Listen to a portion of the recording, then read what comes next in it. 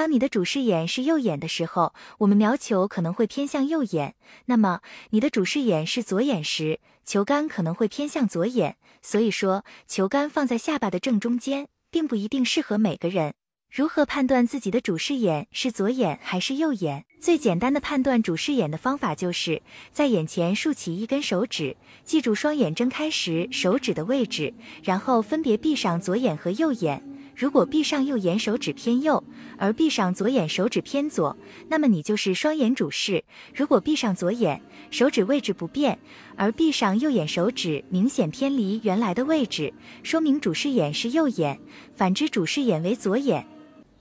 每个人的主视眼是不同的，而瞄球时要尽量使主视眼与球杆的位置保持一致。如果你注意观察，许多职业球手会将球杆放在下巴处，偏向主视眼的一边，或是将球杆放在下巴的正中，而使主视眼偏向球杆。只有在双眼主视的情况下，才使眼正、杆正。